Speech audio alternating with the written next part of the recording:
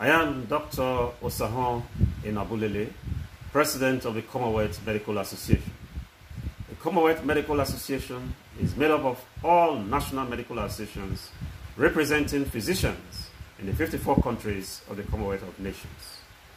The Commonwealth Medical Association felicitates with all citizens of the Commonwealth as we mark the 2021 World Kidney Day with the theme Living Well with Kidney Disease.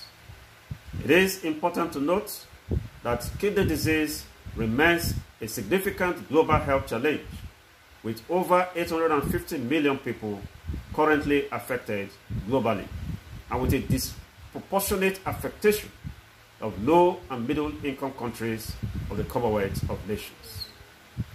It is sad to note that the COVID 19 pandemic has even been very devastating to people living with kidney disease, particularly those undergoing dialysis and those living on transplanted kidneys, who are amongst those at highest risk of developing severe complications of COVID 19 and even dying from COVID 19. Furthermore, the disruptions in the health systems on account of the high incidence and severe impact of COVID 19 and even the lockdown containment measures has resulted in the inability of kidney disease patients to access dialysis. This is even more worrisome in low and middle income countries where even a brief disruption in health systems could mean the inability to access chronic dialysis treatment, and this invariably could mean a death sentence.